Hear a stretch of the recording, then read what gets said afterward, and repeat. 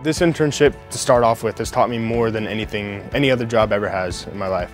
You're going to learn something new and you're going to be challenged to learn and grow in ways that you probably never expected. If you're willing to learn, we're willing to work with you. Uh, and it's the same thing with our employees. They come from all different backgrounds, but if they're willing to work and be a part of the team, we're looking for that, that team dynamic. It turned into a lot more than I thought it was going to be. Get some job experience, learn a new skill. You don't know where that can take you 20, 30 years down the road. I would say that an internship is the best decision that you can make.